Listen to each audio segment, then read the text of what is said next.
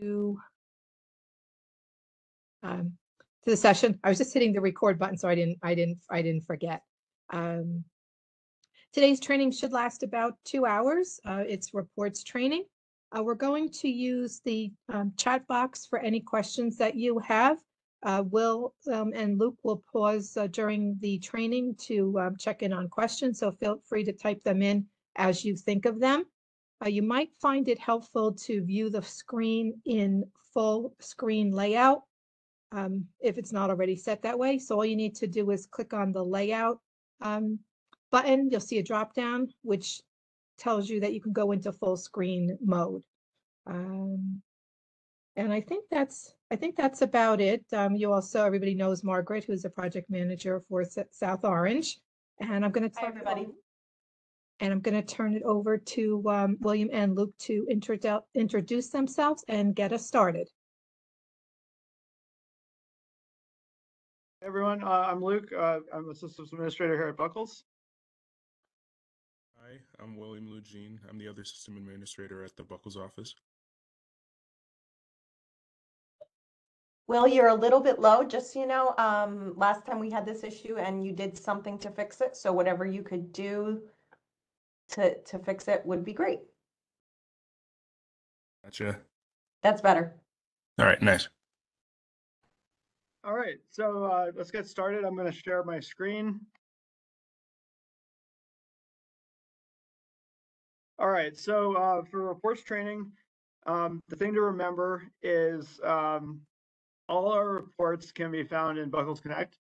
Um, you can also book bookmark the individual uh, links, but um, they're already in uh, Buckles Connect, so that's the best place to find it. You're going to sign in with your Google account. Uh, and once you log into Buckles Connect, um, there's going to be a launcher here on the uh, top right. And when you click that, down at the bottom, you have uh, three categories of reports. So we have um, reports, uh, simply reports, and statistics.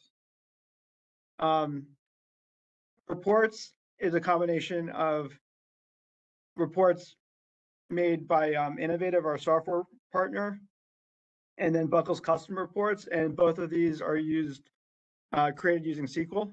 And then Simply Reports is a um, product that comes as part of our software package that um, uh, is a different way to look at reporting, and we'll go over that in more detail. And then the statistics page is uh, monthly and annual reports that uh, we update for the consortium. One thing to remember, and you can see it says VPN here in parentheses. Um, VPN just means uh, you need to be on a Buckles computer connected to the Buckles network to access um, both Simply Reports and uh, Polaris reports and Buckles custom reports. If you're not on the Buckles network, just uh, use the VPN to connect to the network, and then you can uh, access uh, these reporting tools. Um, so that's just something to keep in mind.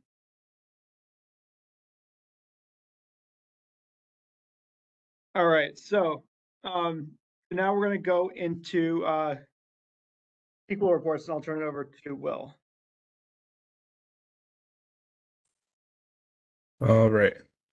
So I'm just going to go ahead and share my screen really quickly.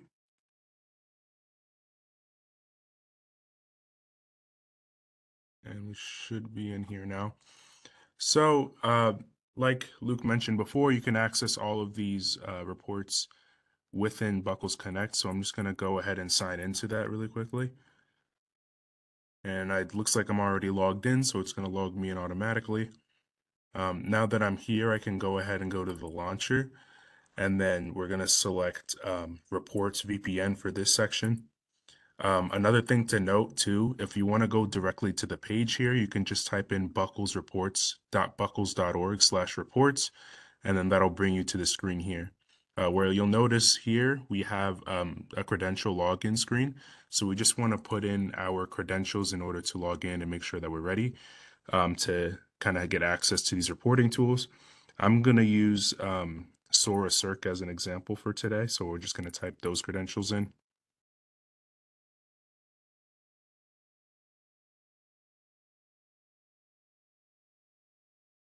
All right, and from there we should be loaded onto this page. So um, just to give you kind of a quick background about what these reports are, um, SQL reports are usually split into two categories when we go into this. So, as Luke mentioned before as well, we have one um, section of reports called Buckles Custom Reports, and then we have one section called uh, Polaris Reports. First off, we're going to discuss Bu- Buckles reports, and we're going to go into why these reports are kind of important. If you want to get access to the Buckles custom reports, you'll notice here that there's a few folders that we have at the top. I'm just going to go ahead and select Buckles custom reports so we can get into our reports.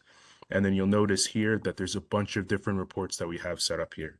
So um, essentially what the Buckles custom reports do are um, these are reports that have been uh, created throughout the history of Buckles through based from the Buckle staff. And um, a lot of these reports are utilized in order to make sure that you're following things like uh, policies within the PMP manual and just increasing efficiency when it comes to the workflow of libraries within the consortium.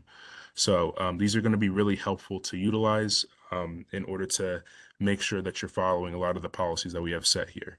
Um, one thing to note is that you have all of the reports listed here. If you go ahead and click the three buttons or the three dot button here, you'll notice that a little pop-up shows up, a different menu here, and you can see at the top, this gives you a, a quick summary of what this report will do.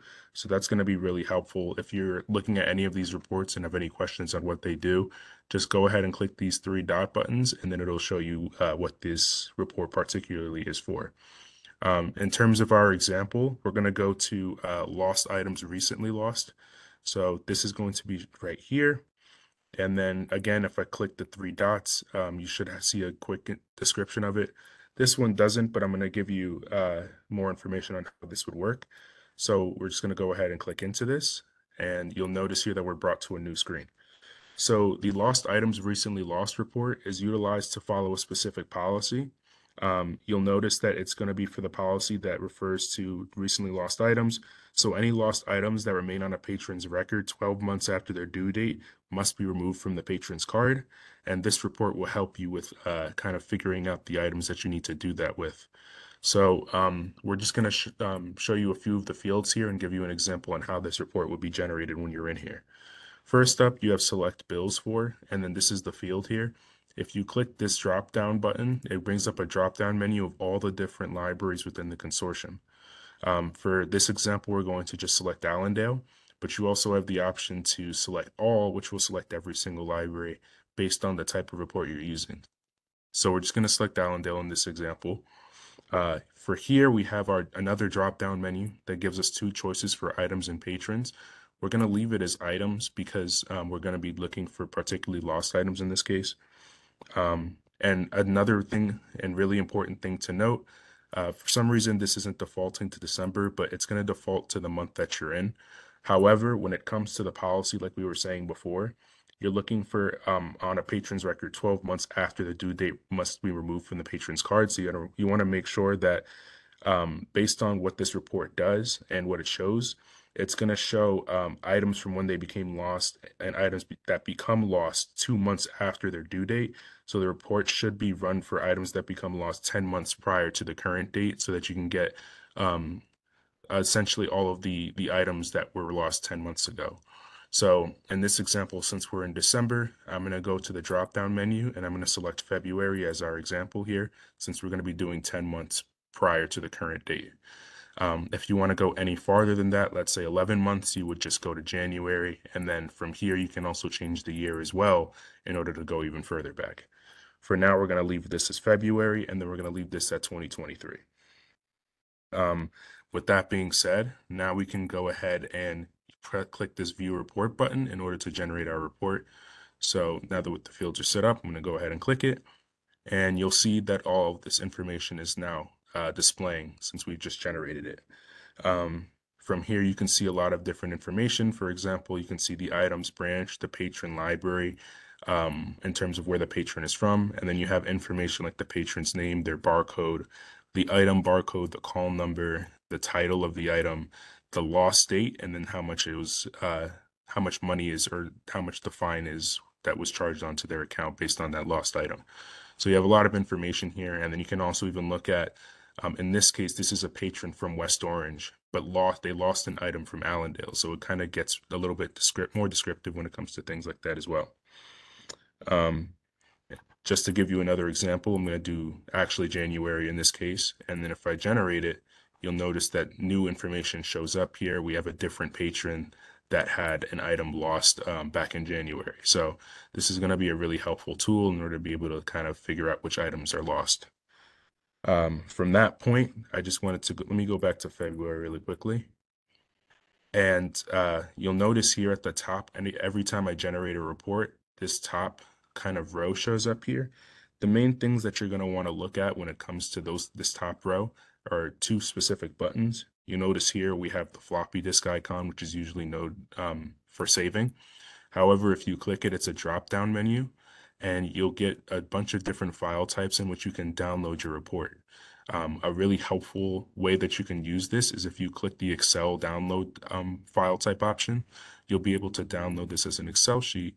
And then from there, um, you should be able to uh, kind of go into the Excel sheet and then edit all the data that you would need. So that's a really helpful tool if you want to really go into the data that you have here and sort it however you would like, uh, just change it however you would like and go from there with it. Um, so that's a really cool option when it comes to downloading the reports that you generated.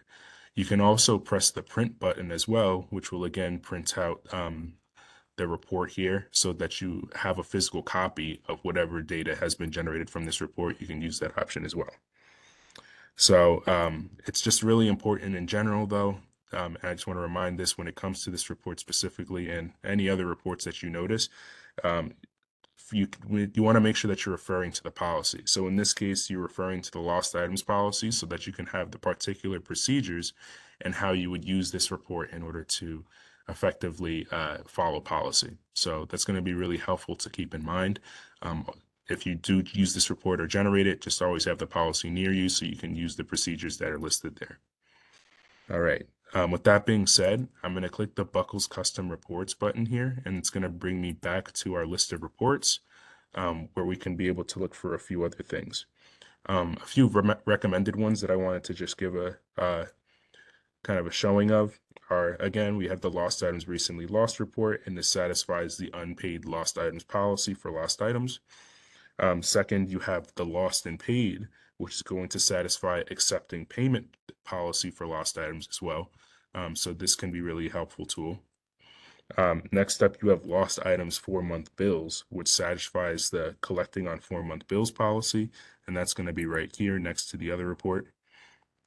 And then lastly, you have um, two more. I'm sorry. You have the in transit and transferred reports.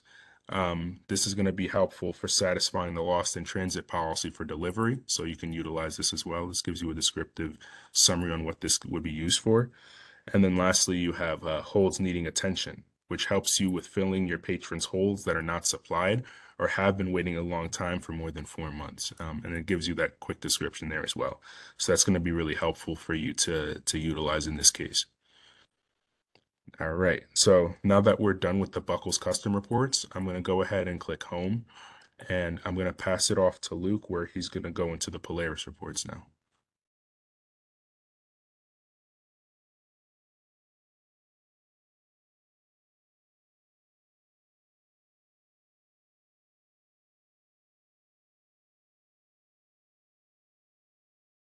Luke, are you talking? Because we're not hearing you.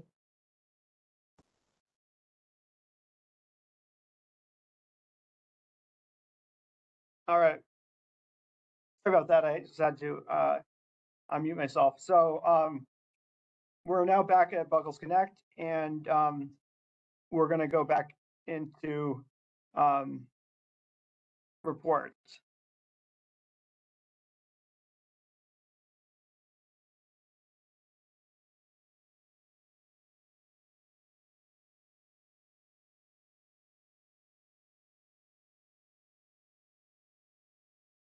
Okay, so now we're gonna go um, and look at the Polaris reporting side of things. So the one thing to remember about Polaris reports, um, that most reports are gonna be in the circulation folder right here. And unless otherwise noted, um, it's attributed to circulation at the library, uh, the checkout occurred at. Um, and not necessarily the library that owns the item or that the patron belongs to. So it's, uh, circ that's attributed to the library, the item, um, circulated at, and the patron is, you know, um, uh, taking the item out from. So, um, most things will be in here in the circulation folder. Um, one report we'll kind of go through is, uh, patron circulation statistics right here. Luke, I just want to point out that um, the Buckles custom reports that Will just showed, um, that is a contrast to the ones we're looking at now because the circulation typically for those is attributed to the owning library. So it is a contrast. Um, this one is usually checkout library and that one is usually owning library. Yeah, yeah, good point. Okay, um, so for the patron circulation statistics report, we're gonna, uh, run the example, uh, using Allendale. And uh, just remember that the date range is going to exclude the last day you select. So you want to, um, if we're going to run this for November, you want to end it on December 1st.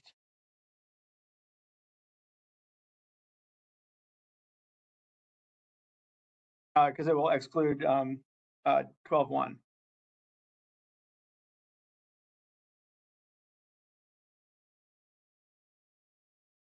All right, and now this shows, um, the report title at the top. Uh, and then next it shows the date range, the library you selected, and then here it shows, um, by patron code, the number of checkouts or renewals, um, by patron code.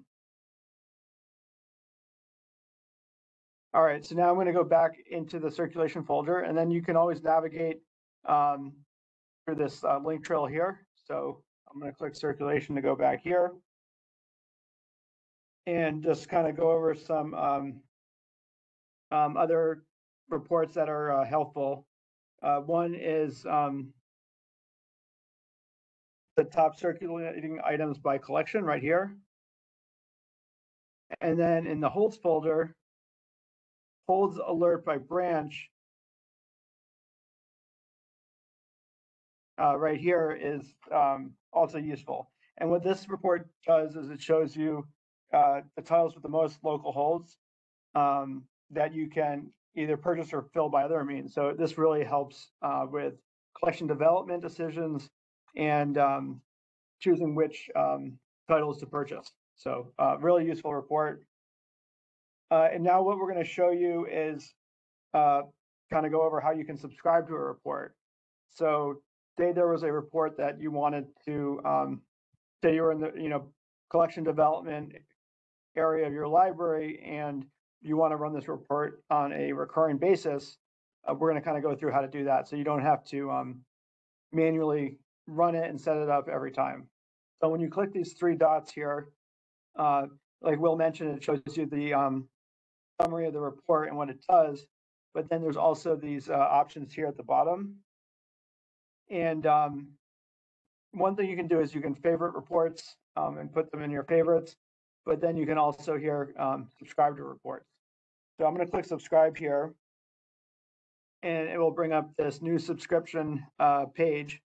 So I'm going to say, um,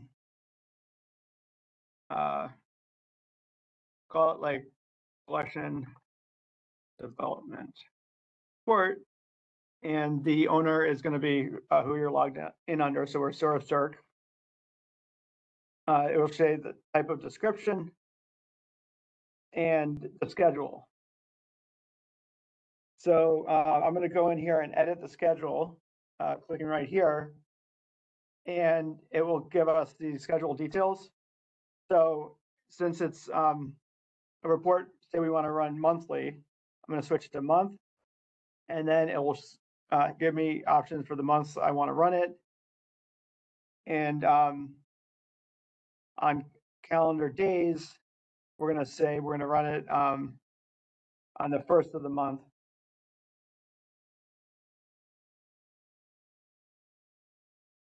And uh, just run it at 9 a.m.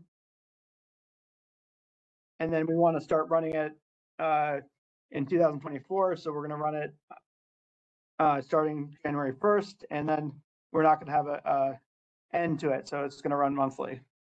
So I'm just going to go through here and make sure that's set up the way I want. And then go to apply here. So now I have the schedule changes right here. It's set up to run 9 a.m. on the first of every month, starting January 1st, 2024. So next up, destination delivery option um, is set to email. And I'm going to put in um, circ at buckles.org, or you could put in um, your email address, um, you know, whichever email you want this report delivered to. All right, so now we just got to go through and make sure our parameters are uh, set correctly. So um, we need um, at least one hold. And then we wanted the pickup branch um, set to South Orange. Okay, so um, these parameters are now set up and I can go to create subscription. Now I have a subscription created and I don't have to go through and do all that work again, um, running it manually. So uh, there's ways you can edit the subscription once you've created it. There's kind of two ways to get to your subscriptions.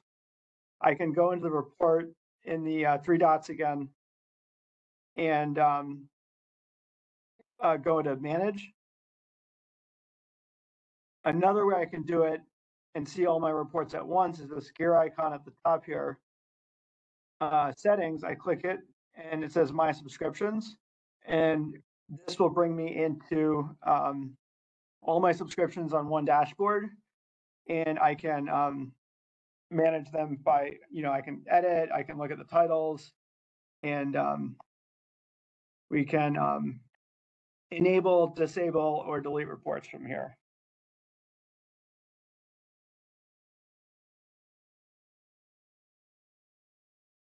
So um, that's about it for um, the subscription side. And now I'm going to pass it back to Will.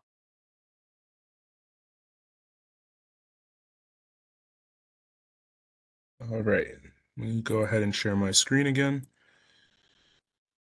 So we're gonna go ahead and now go to the next thing that we have here. So I'm just gonna close out of this and uh, but we're back on Buckles Connect. Um, the next reporting tool that we're going to be discussing is Simply Reports. So I'm just going to go ahead and click that here. Um, and you'll notice that the URL for this is also simplyreports.buckles.org slash simplyreports. So that's your other option if you want to just uh, type in the URL um, instead of going through Buckles Connect. But you'll notice here that, again, we have a login screen. Um, so I'm just going to go ahead and use Sora Circ as our example again.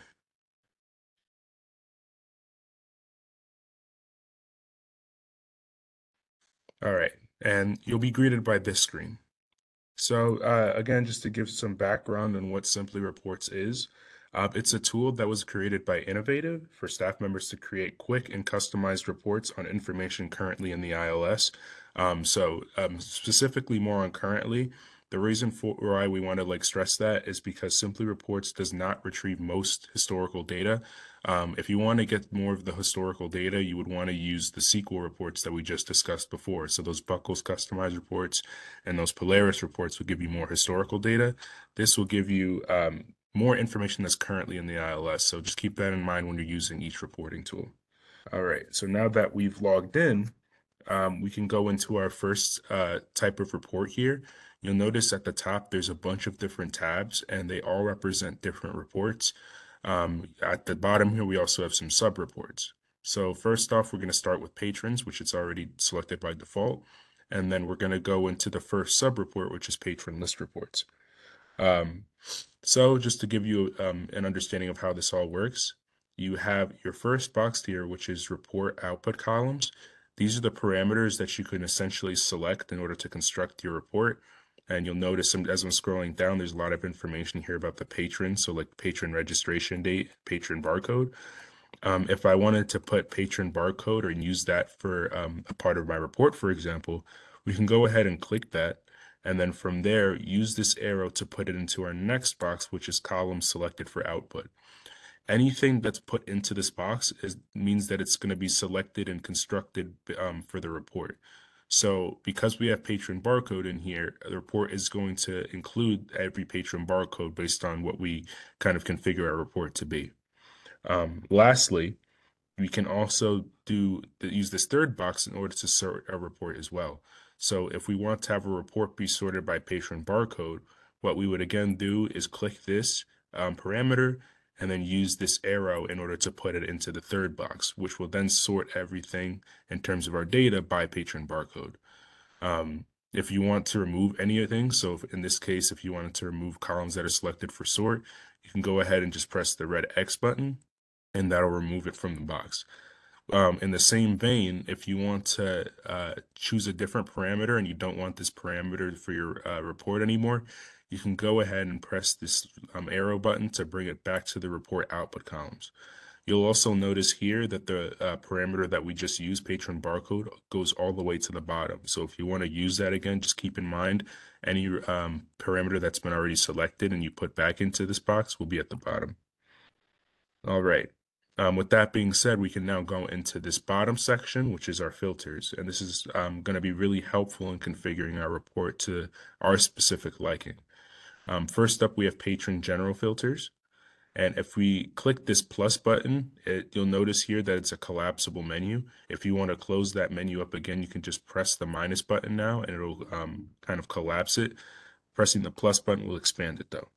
Um, first up, we have uh, the patron record set. So this is what's kind of cool about Simply Reports is because Innovative developed it, um, it's very, um, it works really well with our ILS.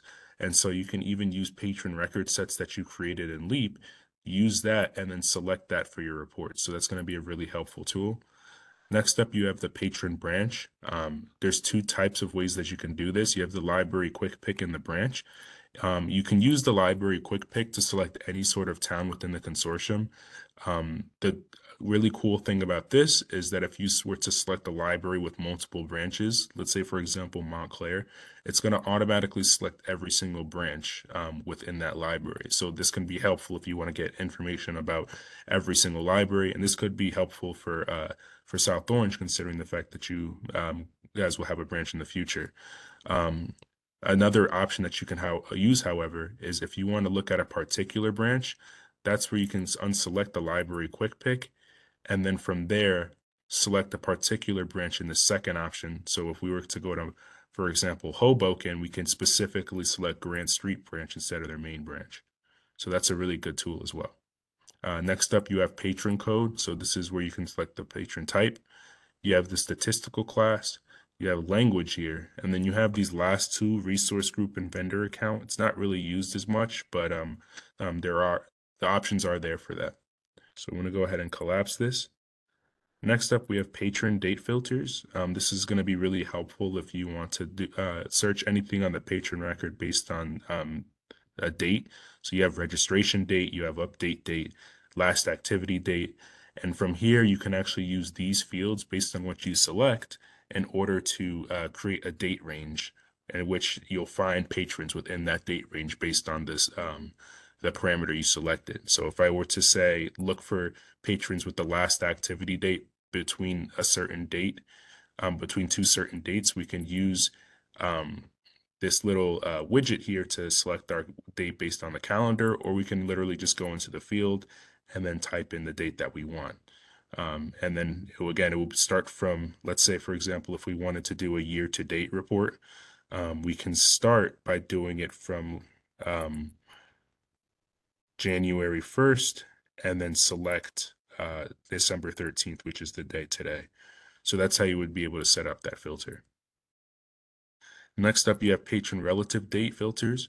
This works similarly to the filter that we just shown before.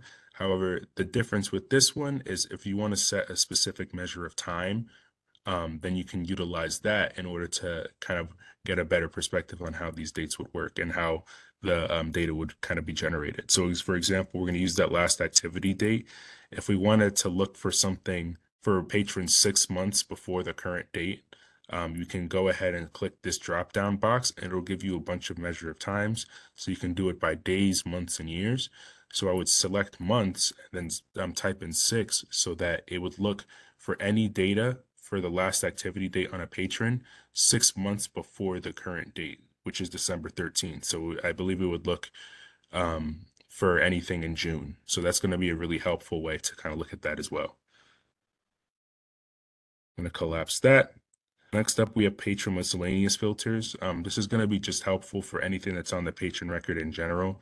So you have things like charges, credits, um, year-to-date circulation, postal code range, email address. This can just be utilized to kind of, again, narrow down your and limit your search when it comes to looking for particular patrons. Next up, we have patron block and notes filters. Um, if your library has a particular workflow where you like to type in specific notes on a patron's record or a type of patron's record, this can be helpful as well. Um, as you can see, there's non-blocking notes and blocking notes, free text blocks, the library assigned blocks, and then any other information here as well. So that's going to be really helpful to be able to, again, narrow down your search for particular patrons that you're looking for. Next up, we have patron user defined fields filters. This isn't used as much, so I'm just going to go ahead and skip that, but that's an option as well. And then lastly, you have patron ID filters. Um, what this is essentially used for, um, and it's a really important to kind of make this distinction. If you want to look for a range in between the patron ID on the patron record, then you can utilize this as well. So just to keep in mind and remind um, you this, this isn't the patron's barcode. This is the literal patron ID that's in the ILS and that's in the database. It's available on the patron record in Leap as well, so you can get that ID, but it's a little bit more advanced considering the fact that you would need to know the particular IDs that you're looking for. All right. Um, so with that being said, I'm going to give a quick example of how we would be able to construct our report now. So um, in our example, we're going to make a report that will generate something that will give us the five patrons with the most checkouts within the consortium. Um, with that being said, I'm going to go into my parameters section here, the um, output column, and then we're going to select patron barcode to be selected for our report. We're also going to go scroll up here and then look for patron full name, which is right here. And then we're going to put that into the selected for output as well. Lastly, we have a patron lifetime circ count, so we can get the amount of circulations that have been done on the patron record. So I'm going to click that. And now that we have all of this, um, there's one more thing that we need to make sure we do. We're going to make sure that everything is sorted by lifetime circ count in order to make sure that we get the top five patrons with the most checkouts. So I'm going to click that and it's going to bring it over here to our column selected for sort. Now that everything is set up for our report, we can go ahead and click this submit button right here to generate our report. It opens up a new tab and we're just going to wait for it to load so that we can have all of the data be available for us based on the construction of our report. And as you can see right here, this is all of our data. It even shows um, how many results have been shown here or given here, but it only limits you to only seeing 100 rows on this page. Um, so there's a few things that you can do from here at this point. First up, you'll notice that there's these three boxes here. The first one here is download report output. So this is similar to what we speak, um, we previously spoke about with the SQL reports. If we were to click this box, we'll get, it'll give us an option to download this report as an Excel file where we can then go ahead and sort it however we like, edit the data however we like. Um, so that's going to be a really helpful option here. I'm not going to go ahead and download this since this is a really big report, but um, you can use this whenever you would like. Next up, we have um, save report parameters for later use. This is going to be a really good um, and helpful tool for workflow purposes and for efficiency sake. If you notice that you've constructed a report with the parameters that you um, have and it was a really good report that you would like to keep, you can go ahead and save it here by clicking the checkbox. Next up, you'll have these different fields here where you can be able to fill in and give um, a name and a description to the reports. So in this case, we're going to name this one um, uh, the top five lifetime checkouts. And then from here, we can even put in an optional report description in order to uh, kind of further describe what this report is. So if we need to look for it later, we can. Now that we have everything essentially set up here, we can go ahead and click the save report parameters.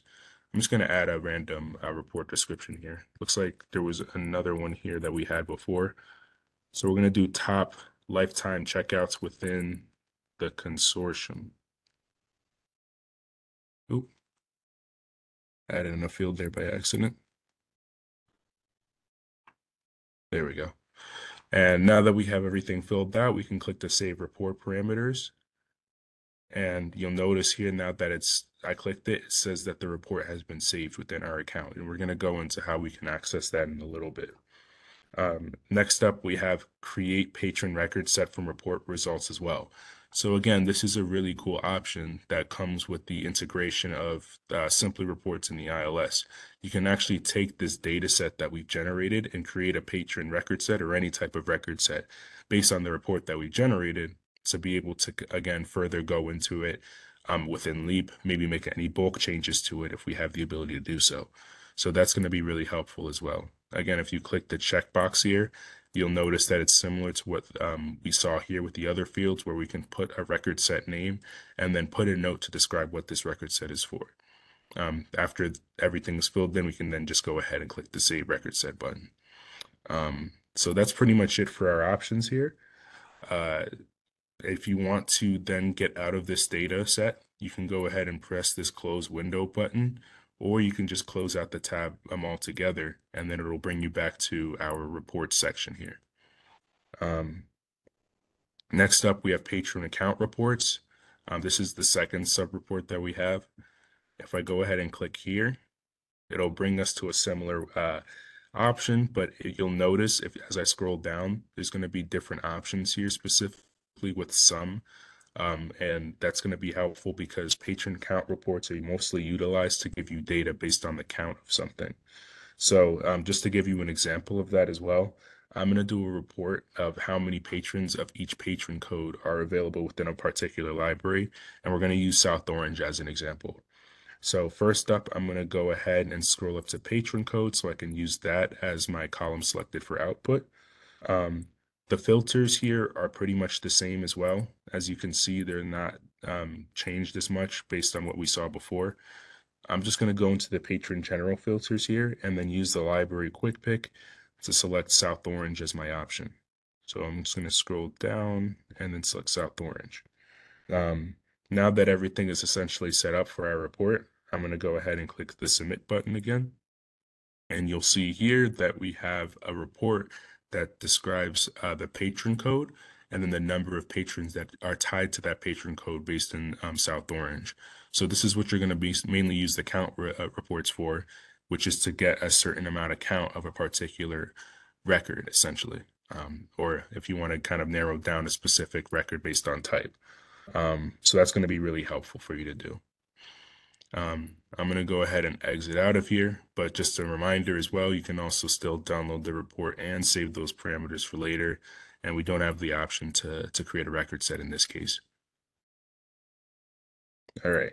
Lastly, we have patron statistical reports. Um, this is the third one. Um, this is a very advanced report, however, so we're not going to go into it during this training, but this is an option that you have here as well. Um, with that being said, I'm going to go pass it off to Luke, and he's going to explain the next type of report within Simply Reports.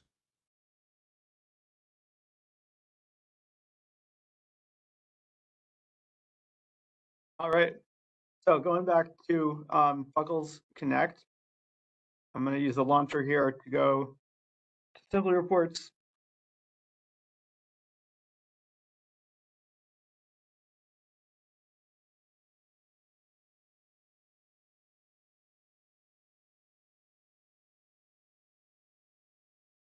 All right. So uh, Will just went over uh, patron reports, the first category. The second category here we have is called patron account. And the first uh, subcategory is patron account list reports. So again, you're going to have uh, three boxes at the top. And the first box is gonna be all your report output columns. Since this deals with the patron account, a lot of these um, have to do with uh, fines and charges and uh, transactions on the account. So you can see here, um, transaction amount, transaction branch, all through the transactions. And then these are the aside, sorry, the items um, that are related to the transaction. Uh, and then we have uh, patron information. So uh, any of these you can select and move over. So say I want patron last name. I'm going to move it over with this arrow here. And now it's in column selected for output. And I could bring over patron first name and then say I wanted to sort by um, patron last name, move that over to the third one. And now it's going to sort it by the last name. And then I'm going to have two columns, last name and first name.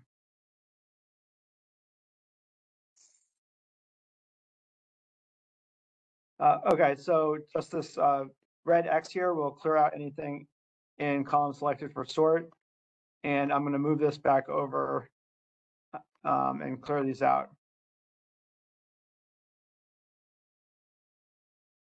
Uh, next here, you can see in gray, it says transaction type. Um, and we can look at charges, credits, deposits, or uh, summary. So uh, going through these uh, filter options, I'm going to expand this uh, patron account general filters. And this will give you, um, uh, the first one will be the uh, uh, charge reason, the fee reason, uh, payment method, cash check, etc., uh, the transacting branch, and the transaction creator and workstation. Next up, we have um, patron account miscellaneous filters. And this is where you can look, uh, filter things more by looking at um, transactions that are greater than or less than a number. So if it's over $50, I could go like that, and then it will look at only transactions greater than 50. Um, and then you can look at charges greater than or equal to, less than or equal to, and then the same with credits. Gonna close these. Uh, next, we have transaction date filters. So you can look at um, between two dates, or you can look at the date between um, X number of, uh, if I do this, I can do uh, two days ago in the report run date, two months ago in the report run date, or two years ago in the report run date. And the same with transaction date. Uh, next, we have item filters. And this is just going to be the assigned branch. And then you can filter it some more here. Patron filters, uh, patron branch, patron uh, or patron code. Patron date filters, we'll look at the registration date. You can look at last activity date, expiration date. Patron relative date filters is similar, but it's looking at a date. Um, you can say uh, last activity date between, again, two days, months, or years ago, and whatever number you put in here. Patron miscellaneous filters. Uh, it's you could look at like you know lost items greater than five for people that lose a lot of items. Um, just kind of miscellaneous ones you can pick and go through these. Uh, we don't use patron user defined field uh, field filters. And then finally, patron ID filters, you can look at um, the barcode or patron ID.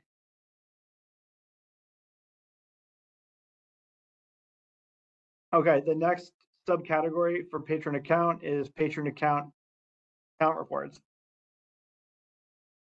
Uh, and this includes everything from before, um, but some additional information. So we have uh, this what I highlighted right here. It includes outstanding balance options, balance options, um, outstanding charges, outstanding credits, or outstanding deposits, and then these history options here, um, everything from the payment history, waive history, um, refund history, and so forth. The third subcategory here, uh, just like with patrons, uh, we don't use um, in this training, um, just because it's more advanced, so we're not going to go into it. So now I'm gonna go over to the third category, which is holds. And again, we have uh, three um, boxes at the top. The first box is um, output columns. And um, since this is uh, the holds category, the first section is um, all holds. And then we have um, item information, uh, MARC information, patron information.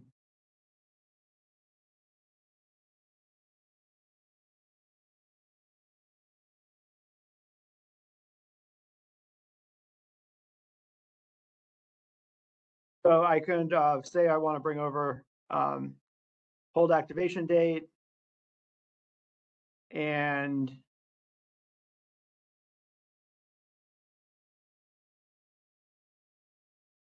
the item assigned branch, and then I want to sort by date. Uh, that's how that would work.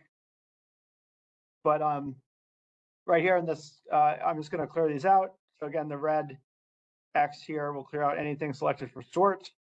And then um, these arrows move items back and forth between the um, this box and this one. So I'm going to just move these back over.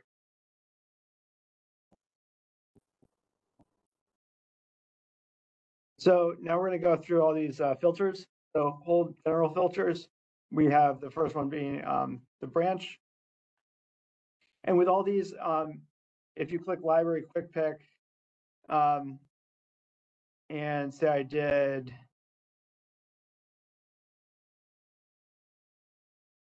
Hoboken, it automatically selects all the branches. Um, so that's something to keep in mind. Um, and then I could look at like the hold status and some other options here. Next up, we have hold date filters. And this just is looking at uh, hold information between uh, two dates. So I could say the hold creation date between two dates. Uh, relative date filters, this is where you can look at the uh, X number of uh, days, months, or years uh, between that and the report run date. So I could look at 20 days ago, uh, the creation date, and, and today. Hold note filters, this is if you put anything in, the note. Um, you can uh, type in the uh, text and it will, um, if you have kind of like standardized notes you put in, you can look them up that way and filter. Uh, bib record filters. Next, we have item filters. Only for an uh, item specific and filled requests. Patron general filters. So uh, the two just being uh, the patron branch and the patron uh, code. Patron date filters. Looking at activity, uh, an expiration date. Uh, patron relative date filters. We can look at number of days, months, and years between um, something and the uh, report run date. So we're going to say um, last activity date, uh, 20 days and today. Patron miscellaneous filters. This is where you can um, look at uh, other things on the account and you can say if greater than or equal to, less than or equal to, and so forth. Uh, we are not, uh, we don't use user defined fields. And then uh, patron ID filters. Uh, you can look at the patron barcode or the patron ID. Uh, Hold count reports. Uh, this is just going to show everything, um, and but what's included now here is these optional um, choices here in this green box. So you can say number of requests greater than 10. Um, so you can say, you know, greater than 50 to, sorry, 50 to get um, really popular items. And uh, the statistical reports, uh, we're not going to go into in this training. I'm going to log out uh, and Will's going to go into the items category.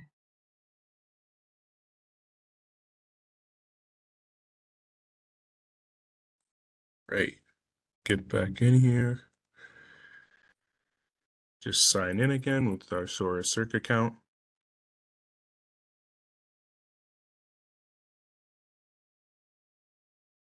All right. So for the next um, type of report, we're going to be talking about the items report. Um, this is definitely going to be a really helpful one as well. Um, like we mentioned before in our previous ex, ex, uh, explanations of the types of reports, we have the report output columns here, which gives us our parameters. As you can see, this is different because it's uh, mainly focusing on the item record, and then you can have some MARC options here as well, as well as patron options.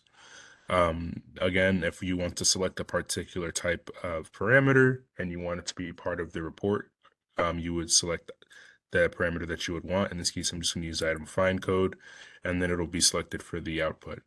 If you again wanted to sort the uh, report based on a particular parameter, you can go ahead and click it and then bring it into the third box here so that it will be sort the report based on item fine code in this example. And then if you ever want to remove it, just use the red X button and then this um, arrow button to bring them all out of the um, boxes that we just mentioned before. All right. So with that being said, let's go into our filters now again. Uh, next up, we have item general filters. This um, option gives you the ability to search up item record sets. Um, like, like we mentioned before, the integration with the ILS is really good. So that's going to be helpful if you need to run a report on a particular record set. Next up, you have the library quick pick and the branch options if you want to kind of delve deeper and um, select this particular branch within the consortium. Uh, next up, you have the collection, which is going to be helpful too. You have the creator, modifier, the donor. You have your fine code, the home branch, the history action, loan period code, the material type, owner, record status, shelf location, shelving scheme, stat code, circ status, and then these last two, which we don't use. So a bunch of more options here when it comes to the item record, as you can see. Go ahead and collapse that, and we have now item date filters, similar to what we just mentioned before. A lot more options based on the item record, particularly, and is um, is pretty much similar to what we've mentioned before. You would um, select the particular parameter in which you want to be able to uh, create a date range for. Let's say uh, first available date for an item record, and then you can use these fields or use the widget in order to type in the particular date range that you would want. I'm gonna collapse that. Um, now you're gonna notice here that we have other options with date filters. This first one, item relative date filters between two dates is gonna be different. Um, this is similar to what we've seen before in which you can select a specific measure of time and then from there um, have it generate the report based on that particular measure of time and the current date. So this is going to create a date range between in this case, if we use the example of six months again, we can do a six months ago report where it's looking from, um, it's generating data based on anything from uh, June to now in December. Right. With this relative date filter, it's a slightly bit different. Um, this is going to specifically, again, give you uh, things prior to a specified date. So it works similarly to the other date filters as well, where you can select a particular date um, with the measure of time, and it's going to look for anything before that report run date, which is today. So that's going to be an, another option for you as well in order to make sure you have the specific date that you're looking for, um, which is really important when it comes to generating this type of data. Next up, you have the item call numbers. Um, this is going to be helpful for anything when it comes to the call number. As you can see, there's every single type of like part of the call number here with the prefix, the classification number. You have your cutter, your suffix, your volume number, and your copy number here as well. So all of that is going to be here. And then you can create a range similar to the ones that we've seen before in order to find particular items within that range. We next up have item block, note, and funding filters. So we talked about this before. Um, when there's whenever there's a note, if you use a specific workflow uh, and you type in a particular note on particular records, you can use this as well in order to be able to search for those specific item records that you know have a particular note. Next up, we have item circulation filters. again, just giving us more information here when it comes to circulation in particular. So you have lifetime circulation and lifetime in-house use, for example. Um, and then you can set the less than or equal to um, the equal to options. Uh, they're all going to be here so that you can be able to look for that. All right, we next up have item check-in and transit filters. Um, this looks at, again, more parameters here specific to checking in items. So you have the check-in branch, the check-in user, the check-in workstation, and then you even have in-transit sending branch and in-transit receiving branch if you want to uh, really narrow down and limit your options here when it comes to the items. Next up, you have item checkbox filters, and this is going to be a really interesting one. If you want to uh, specifically look for items that are at following essentially these parameters here, you would select the checkbox next to them. So for example, if in the item record, the holdable option is unchecked, you can select this and it'll look for item records with the holdable option unchecked in the record. Um, it's really important to remember this as well. You want to make sure you're doing it one at a time because um, just doing it two at a time won't may not give you the um, information that you would want um, because of the fact that there may be a situation where you're creating reports solely looking for holdable unchecked and you don't want other things to kind of interfere with that. So that's going to be really helpful to remember. Well, um, just to clarify, it's, it's not that you, it'll interfere with it per se. It's that, um, what it's gonna do is it's gonna look for, um, you, you of course can't look for something that has holdable both unchecked and checked. That's, Yeah. that's just a logical impossibility. Yeah. Um, But it won't even let you do it. But if you were to say, do holdable unchecked and pick up at this branch checked or something, um, it's going to look for items that have both of those checked. Or, um, I should say unchecked and checked, um, holdable unchecked and pick up at this branch checked. It's not going to look for anything with holdable unchecked or pick up at this branch checked. So just to clarify what it's doing, the logic behind it. Gotcha. Yeah, absolutely. Thank you, Margaret. All right. Um, so let's go to our next type of filter. Um, we have the item record ID filter. And um, as we've mentioned before, this works similarly to the other filters when it comes to IDs that we've been mentioning. You're going to be looking particularly for the item record ID within the ILS, which is again um, available to you in Leap, but you just don't want to confuse the two when it comes to the item barcode and the item record ID. Next up, we have bibliographic record filters. Um, this is going to be helpful for looking for particularly uh, things when it comes to the bib record. Um, so you have bib record sets here, and then other options when it that refers to particularly bibliographic records. You have your patron general filters, which is similar to what we've seen in the other patron reports. So you can use the library quick pick and then branch and patron code. Um, this is more towards attaching an item specifically to a patron, so this will be helpful. And this the same goes for the other filters here with patron date filters. It's similar to what we've seen before. Um, and then you have uh, kind of a mixture of the normal date filters and then your relative date filters here, where you can set a range um, specifically with dates or use the time of measure.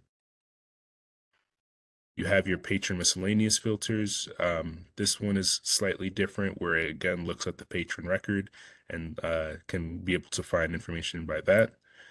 And then lastly, you have your patron ID filters, which again is similar to what we just mentioned before.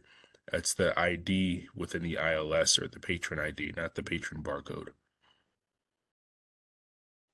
All right.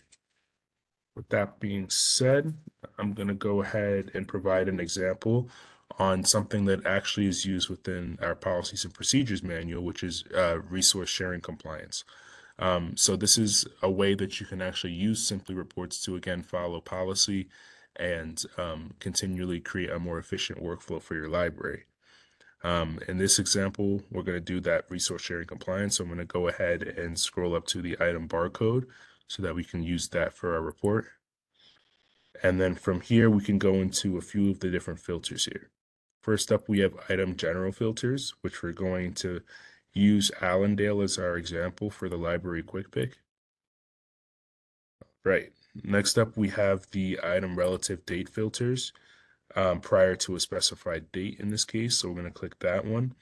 And we're going to do first available date more than as our parameter three months before the reporting due date. So I'm just going to select our drop down menu, uh, change it to months, and then put in three in this, in this field.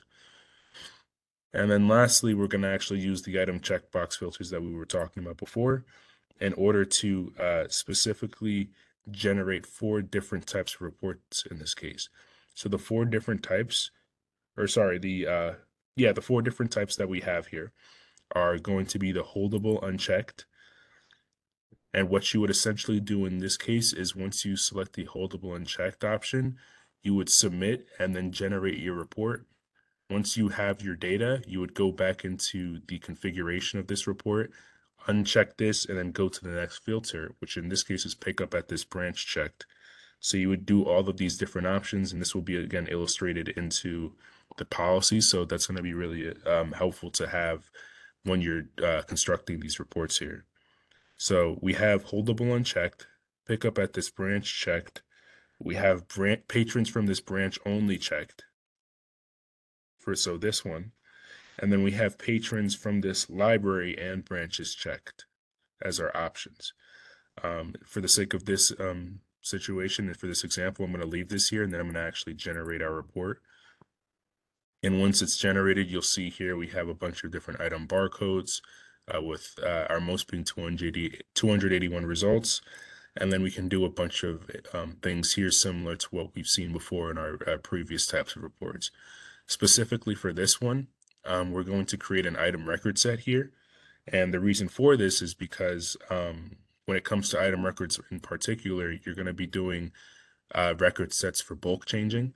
And this is a really good tool to utilize within Simply Reports where you can configure uh, specific filters and specific parameters in order to create the record set that you need from the list that you've generated here.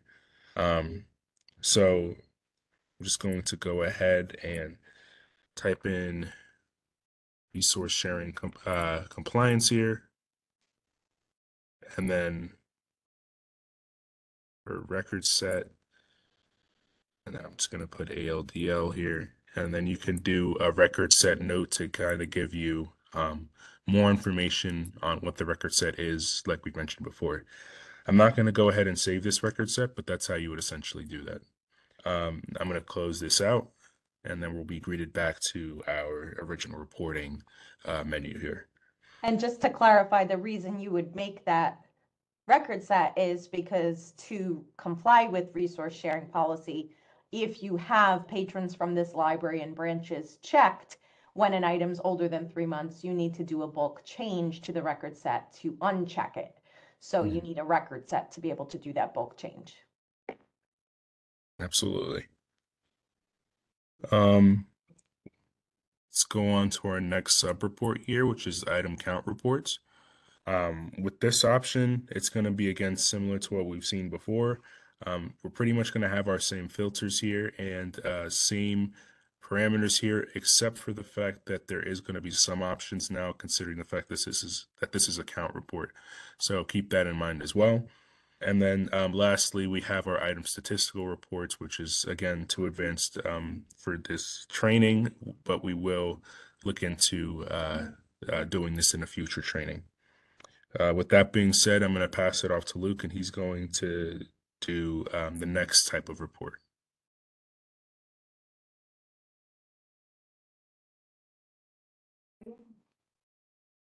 All right. So the last type we're gonna go over is um, bib reports. I'll log in.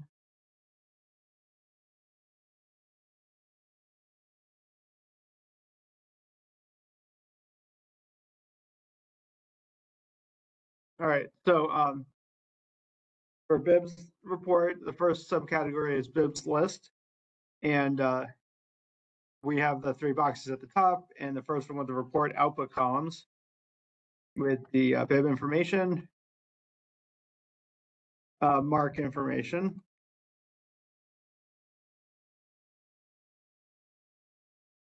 And down at the bottom, we have uh, vendor information. Don't worry about that because we don't use um, that in, in um, uh, believe we don't use uh, vendors in purchasing, but uh, everything above it you can use. So let's see, um, they wanted MARC author and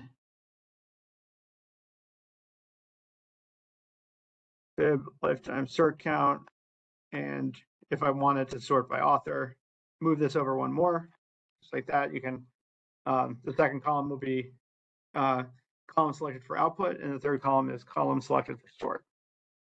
So I'm gonna just click, close out of these and move these back over, and we'll do an example in a little bit. But before we do the example, um, we're gonna keep, uh, going through here. So next we have, um, bibliographic general filters.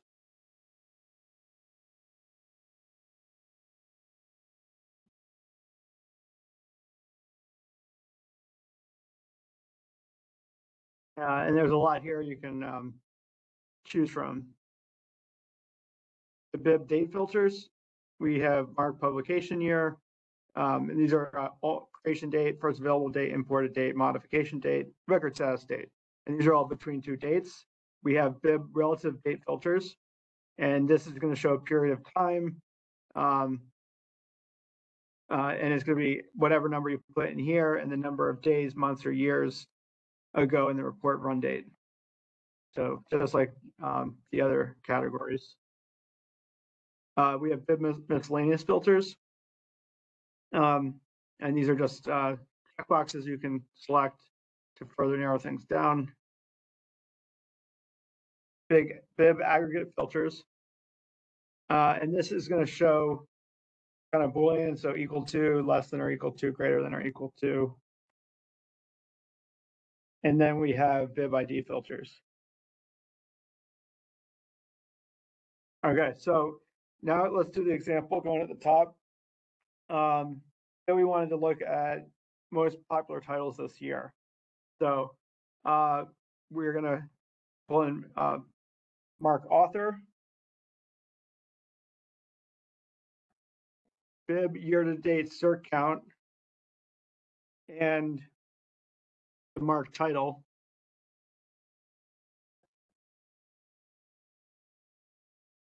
Now, um, we want to, and then sort it by most popular, right? So we're going to sort it by year-to-date circ count. But now you see here, I have these columns in order, um, but say that's not the order I want it in. You don't have to move it all back and then start over. What you can do is use um, um, these arrows up and down to move things around. So um, say I want to MARC title in the middle, I can put it in the middle. And then I can put the, column at the bottom.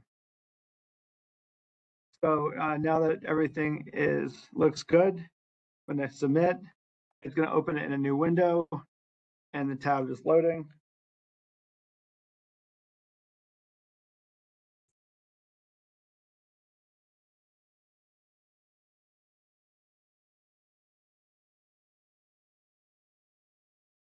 All right. So it's going to show you the a preview of the first 100 rows. And you can see there were um, quite a few results here.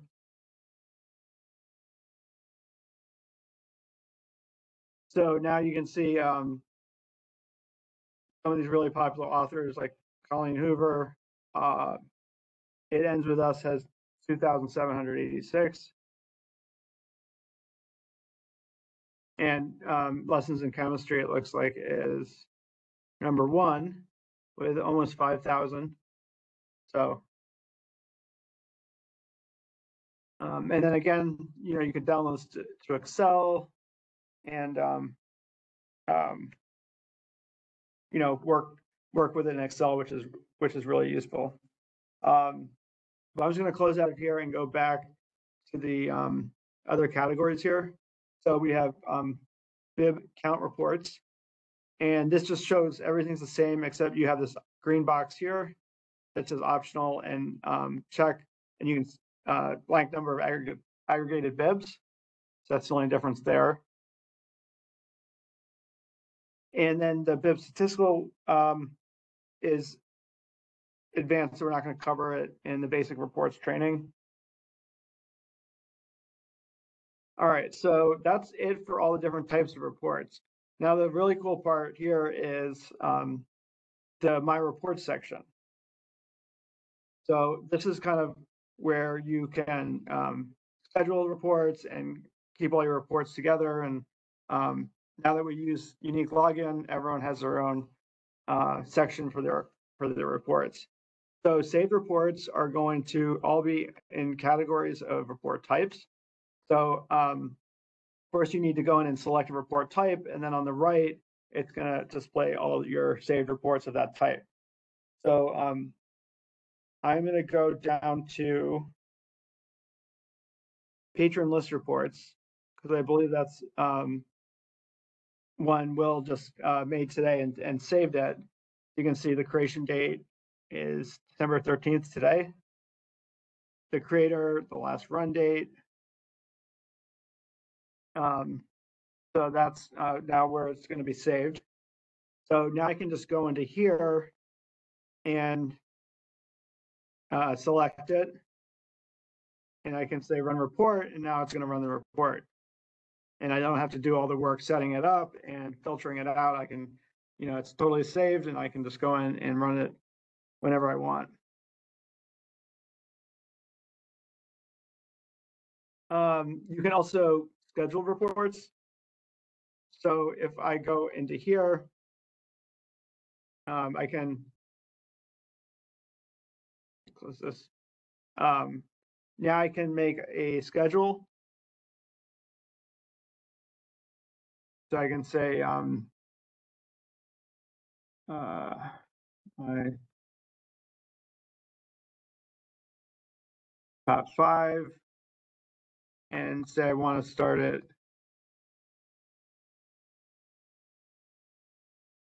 January 1, uh, run monthly. At 9 a.m.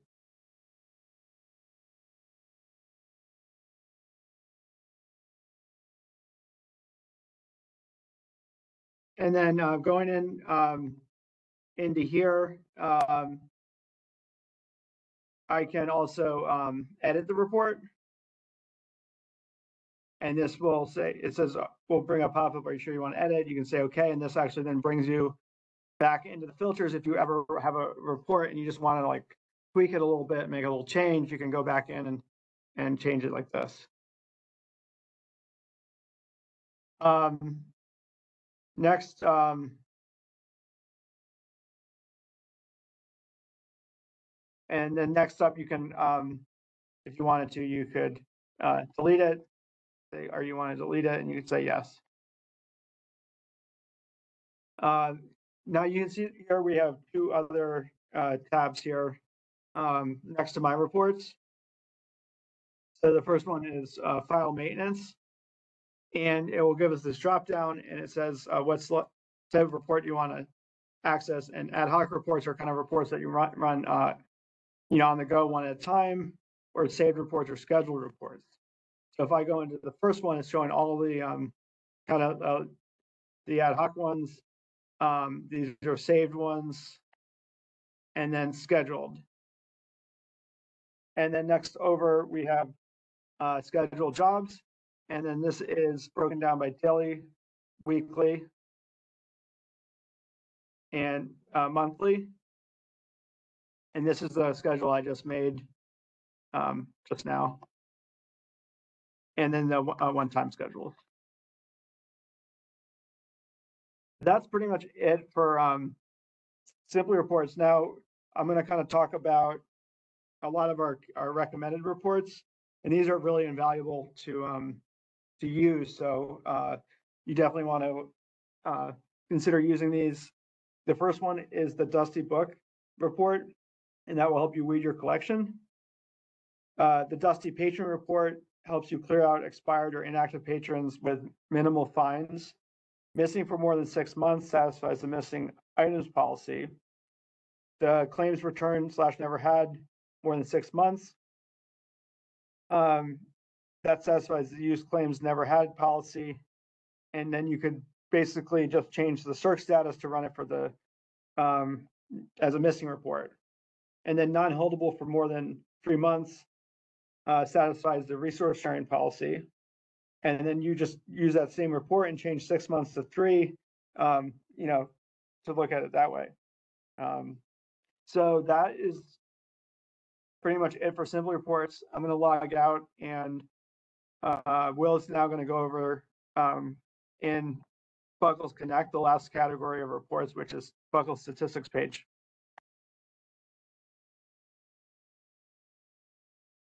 Right. So when it comes to our statistics page and the statistic reports that we have, we're just going to go back into BCCLS Connect. And uh, since we're already logged in here, we can go ahead and get started with everything. Um, there's two ways that you can gain access to the statistics reports. Um, you have your first option, which is going to again be in the launcher where you can select the statistics button here. However, you also have the option here on your left. If you go ahead and select the channels button and, uh, oh, sorry, the pages button, there we go. If you go ahead and select that, you also have an option here for statistics as well, where you can select that. So I'm just gonna go ahead and click that. And you'll notice now that it'll bring us to a page within BCCLS Connect called statistics. Um, now, just to give you a brief explanation on this type of report, uh, statistics statistics reports are just a collection of reports from the BCCLS office that we generate um, on a monthly, annually, and quarterly basis. Um, with all of this information, you can have the ability to just go into BCCLS Connect and then select whichever report that you would like to view, and from there you have um, constant access with it. Um, you also do not need um, a VPN or do not need to be connected to a BCCLS computer in this case. You can just go into BCCLS Connect and then uh, be able to look for those reports however you would like to, as long as you're signed in. Um, with that being said, uh, I'm going to give you a few examples of reports that are available within the statistics report. So first up, we have circulation cumulative monthly, and this is how you would essentially uh, navigate this this page once you select a report. If I go ahead and click here, um, BCCLS Connect is kind of hosted on a Google architecture. And so because of that, this is going to look a little familiar when it comes to a Google Drive sort of uh, format. Um, when it comes to looking for a specific year, you have all of these years here up until 2001 for this report. So a bunch of um, statistics are have been kept up to date and kept consistently throughout the consortium's history.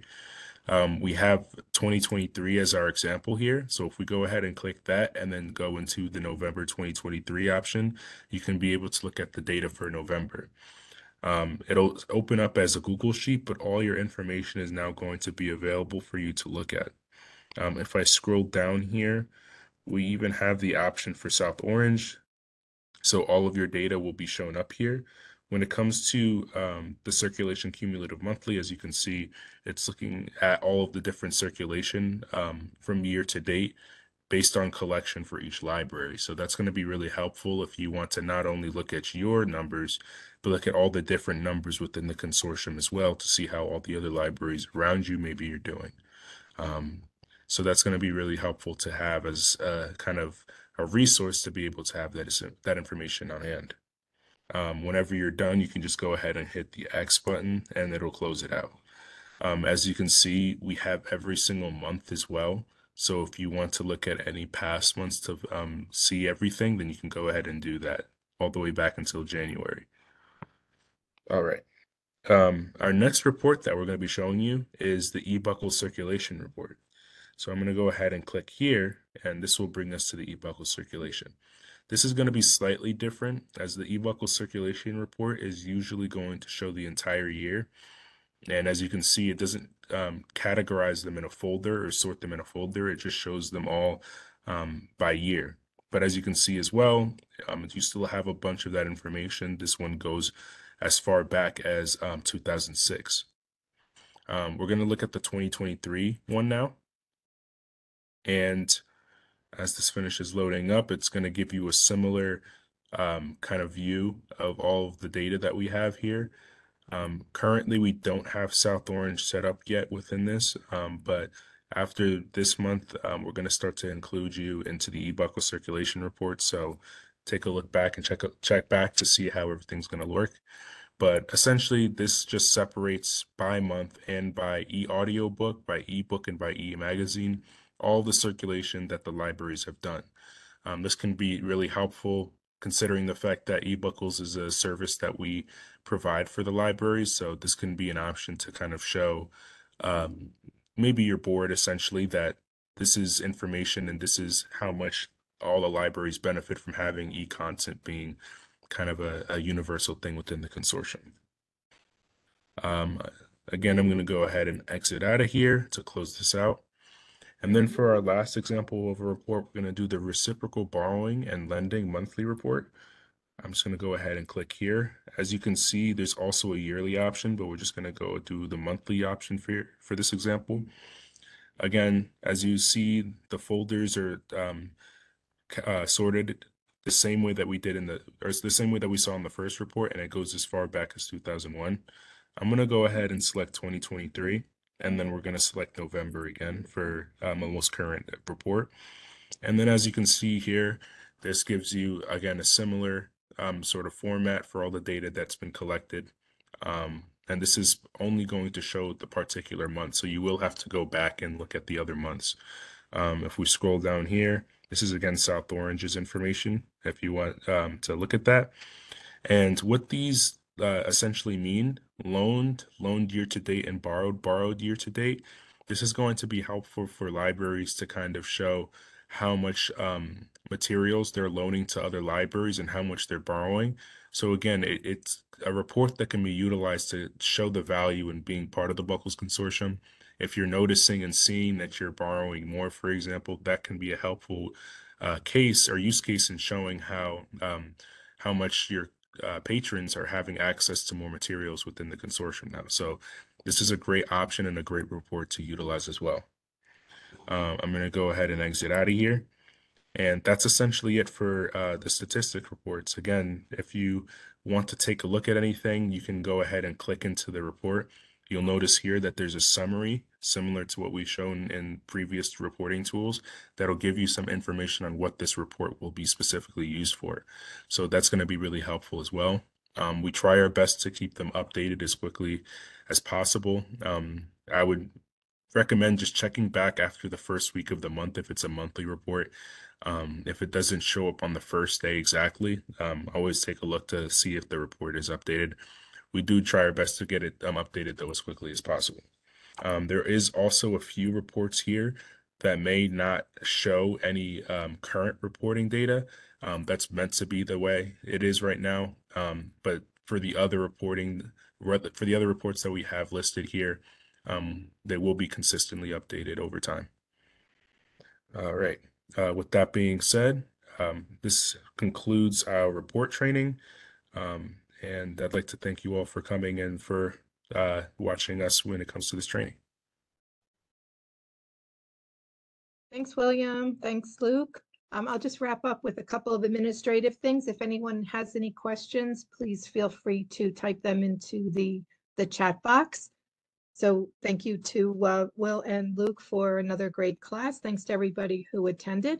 Uh, we will be sharing the recording, the slides, and I'll also be sending you an evaluation. If you could just give us your feedback on today's training, um, that would be appreciated. It also gives you an opportunity to let us know what future training you are interested in, in any, any topic. So why don't we give it a minute, see if there's any questions, and then we'll. Yes, Darlene, you mentioned, you mentioned sharing slides. We actually don't have slides for this one. Um, but we Oh, do I'm have sorry. a handout and we have the, um, recommended reports handout as well. Sorry, I misspoke. We're talking about the outline, right? Yeah, the outline and the, um, recommended reports. Reports, yes, to read. yes. Thank you for, thank you for catching that, Margaret. Mhm. Yeah. It's like, you guys didn't have slides for everything that you talked about? I'm, I'm very disappointed. Okay, yes, so uh, reco- recording handout, uh, recommended reports and evaluation will be, will be coming. Um, do you see any questions, Margaret? No, no questions yet. Okay, Maybe they just were super thorough. uh, that's what I was thinking. Mhm. If anybody does have any questions, you could always, you could always reach out with um, questions after, after the fact. Yes, definitely. All righty. There is um, a support form specifically for reporting. So if you go um, into BCCLS Connect to the support form, you'll see a category for reporting support. So you could ask questions there.